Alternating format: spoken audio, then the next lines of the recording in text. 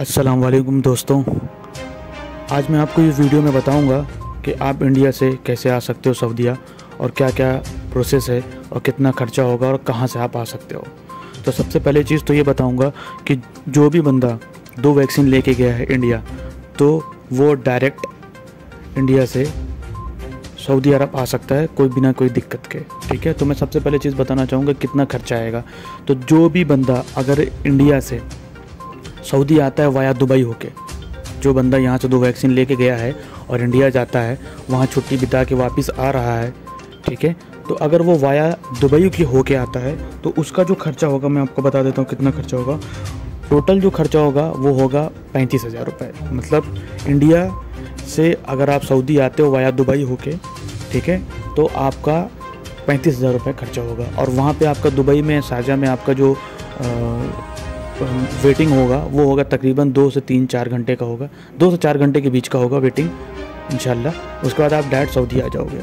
ठीक है, ये उनकी मैं बात कर रहा हूँ, जो बंदा दो वैक्सीन लेके यहाँ से गया हुआ, वहाँ से वापस आना चाहता है। पैंतीस हज़ार रुपये में आराम से आ जाएगा। मैं नीचे टूर्स एंड ट्रेवल्स का एड्रेस भी दे दूँगा आपको। वहाँ पे आप बात करके पता कर सकते हो आपको सारा प्रोसेस पीसीआर कैसे करना, सब कुछ वो बता देंगे आपको। ठीक है, दूसरा मैं उन लोगों के लिए बताना चाहता हूँ, जो भी बंदा डायरेक्ट आना चाहता है। सबसे पहली चीज़ तो जो फ़्लाइटें हैं ना इंडिया से, वो दिल्ली, मुंबई, हैदराबाद, कोची, हर जगह से चालू है। तो आपको जहाँ से भी आना है, वो आप वहाँ से आप आ सकते हो, ठीक है? इसके अलावा मैं अब उनकी बात करना चाहता हूँ, जो डायरेक्ट इंडिया से आना चाहते हैं। डायरेक्ट इंडिया से मतलब जो दो वैक्सीन यहाँ से लगा के गए हुए हैं और इंडिया से डायरेक्ट वापस आना चाहते हैं तो उनके लिए भी फ़्लाइट दिल्ली, मुंबई, हैदराबाद और कोची से है, ठीक है? तो उनका जो लगेगा वो डायरेक्ट पैंतालीस हज़ार रुपये लगेगा, ठीक है? मतलब कि अगर आप डायरेक्ट हैदराबाद से या दिल्ली से, मुंबई से कोची से अगर आप आते हो सऊदी अरब, ठीक है तो आपका पैंतालीस हज़ार रुपये लगेगा। तो मैं यही बोलना चाहूँगा भाई कि अगर आप लोग दो वैक्सीन लगा के गए हो, अगर वहाँ से वापस आना चाहते हो, ठीक है, या जाना चाहते हो, अगर वापसी आओगे तो वाया दुबई हो के आओ तो उसमें आपका दस हज़ार रुपये कम हो जाएगा, पैंतीस हज़ार रुपये ही केवल पड़ेगा, ठीक है? और सबसे अच्छी बात यह है कि आप अगर उनको फ़ोन करोगे तो आपको सारी चीज़ें बता देंगे।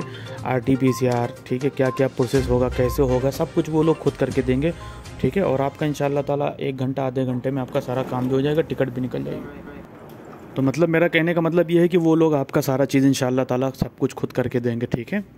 उसके अलावा मैंने जो अगर मान लीजिए क्वारंटाइन होके आना चाहते हैं तो मैंने दुबई से जो बंदा अगर मान लीजिए जो बंदा एक वैक्सीन यहाँ लिया हुआ है और एक वैक्सीन इंडिया में लिया हुआ है, या अगर जो बंदा दोनों वैक्सीन इंडिया में लिया हुआ है, सऊदी आना चाहता है तो मैंने पहले ही भी बता दिया है, हमारी पिछली वाली वीडियो में आप देख लो कि अगर दुबई से वाया हो आओगे तो कितना खर्चा लगेगा। फिर भी मैं आपको रफली बता देता हूँ, ठीक है? अगर आप दुबई से हो आओगे तो आपको तकरीबन नब्बे हज़ार रुपये तक का लग जाएगा। अगर आप मालदीव से हो आओगे तो एक लाख बीस हज़ार तक लगेगा। हर जगह का खुला हुआ, वो आपका मुनासिब रेट है, जैसे जहाँ पर भी आपको जिसका भी पैकेज लेना है, वो ले सकते हो आप।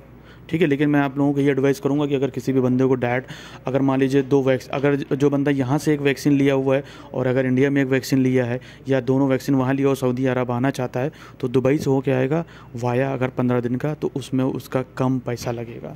ठीक है? तो ये मैंने आपकी, आपको जो अपडेट कर दिया कि जो भी बंदा अगर जाना चाहता है या अगर इंडिया से वापस आना चाहता है तो उसका इतना पैसा पड़ेगा, ठीक है? दुआ में याद रखो, भाई चैनल को थोड़ा सब्सक्राइब करो लाइक करो भाई। अल्लाह हाफिज़।